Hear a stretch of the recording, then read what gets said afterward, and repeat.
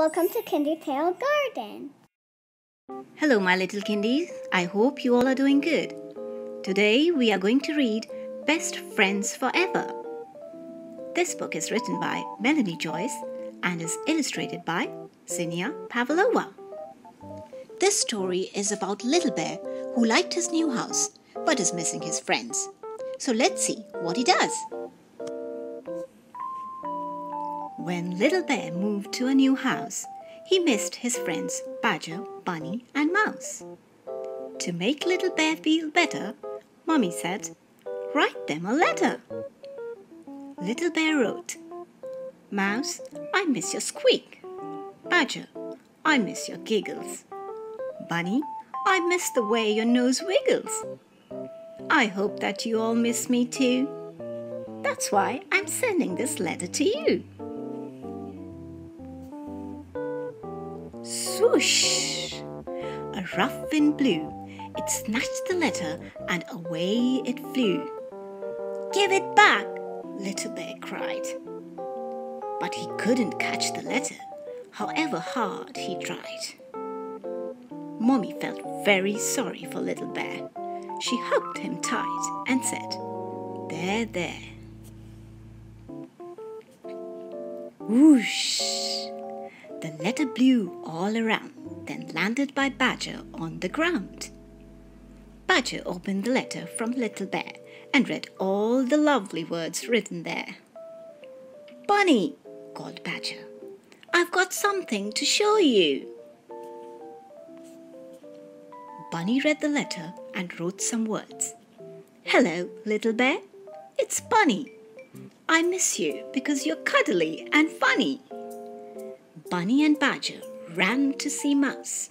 They tapped on the wooden door of his house. Mouse read the letter and wrote some words for his friend. I hope that our friendship will never end. When he had finished, Mouse twiddled his tail. He said, Let's send this letter through the mail. But Stork and the mailbag were flying away. Oh no, said Bunny. We've missed the mail today.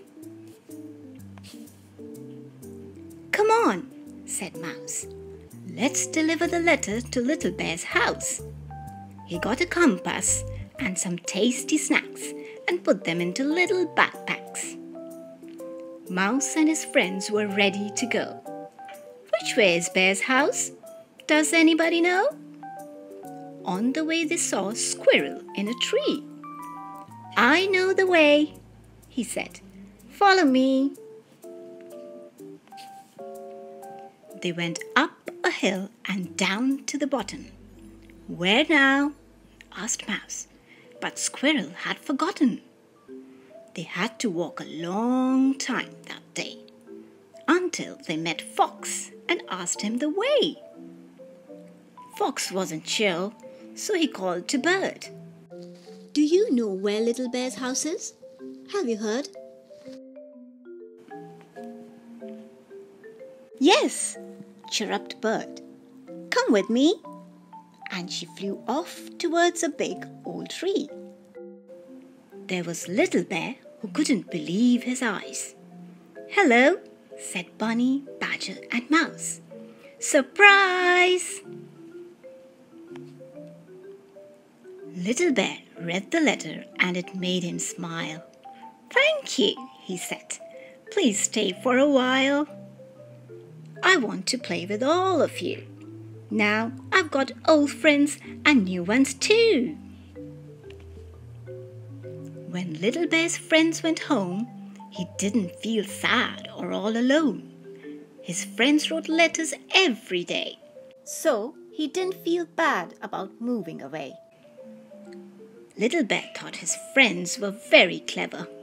He had no doubt at all they would be best friends forever. Thank you for watching. Please don't forget to like and subscribe.